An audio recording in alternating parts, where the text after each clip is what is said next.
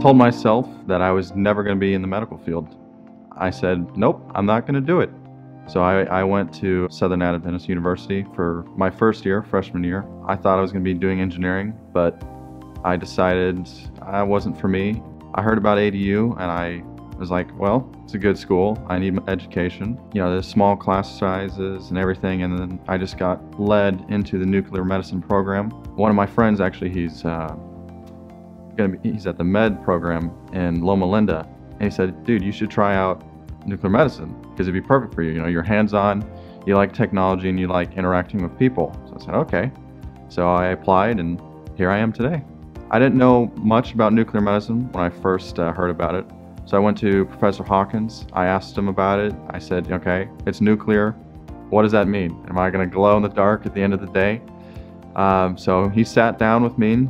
Professor Hawkins talked with me for about an hour, explaining to me what nuclear medicine is, what you're going to be doing. And I thought it was really cool that he would take the time of someone who's not even in his program to talk to me about it. Some common misconceptions about nuclear medicine is obviously the word nuclear. Professor Hawkins, he, you know, he told me he's like, the government gives out a, a percentage of radiation that government employees are allowed to get each year. And in fact, in nuclear medicine, we only get about 10% of that allowance. And it's a very small amount because there's always precautions. We have lead shielding, we have, you know, we call it ALARA, uh, as low as reasonably achievable. So all those things help us to keep down our radiation level, and it's not that much. Curriculum in the nuclear medicine program it can be challenging at times, but as long as you enjoy what you're doing, you'll get through it. Professor Hawkins and Professor Duncan are really good teachers. They'll teach you everything you need to know. And at this point, they said, we haven't graduated yet. We can almost take the boards because we're that level, and I still have a semester to go. Professor Hawkins and Professor Liz told us about the 100% pass rate.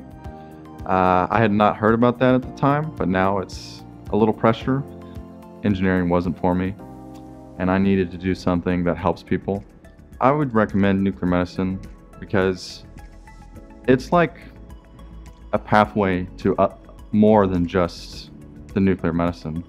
There are a lot more opportunities that you can be a part of if you don't want to stay with doing uh, with patients forever.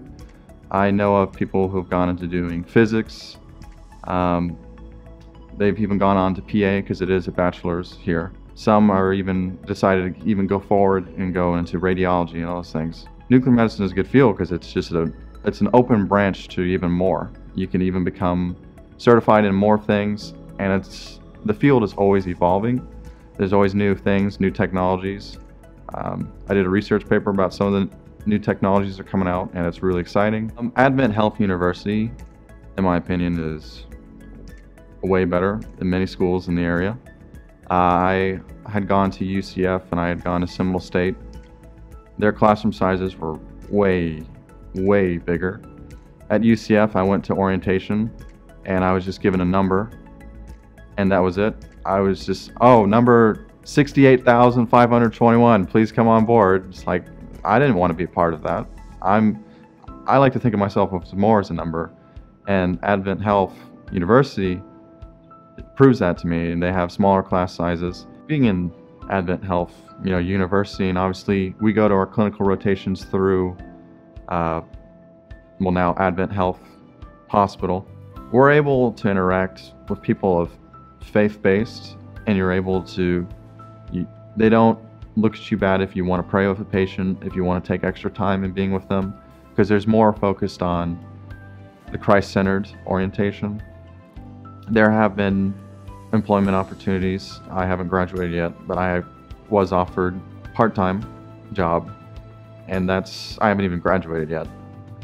Something I just want, you know, everyone to know, any potential students for the program is, it's a great program.